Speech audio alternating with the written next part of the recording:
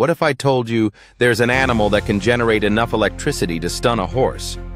The electric eel, native to the murky rivers of South America, is nature's living battery, capable of producing shocks up to 860 volts, far exceeding the voltage of a standard wall outlet.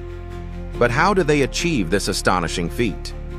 Their elongated bodies contain thousands of specialized cells called electrocytes, arranged in series much like the batteries in a flashlight.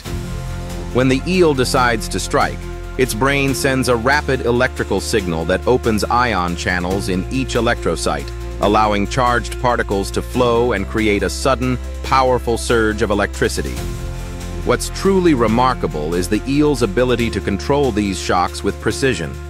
It emits low-voltage pulses to navigate and communicate in its dark underwater world, and unleashes high-voltage jolts to stun prey or defend against predators.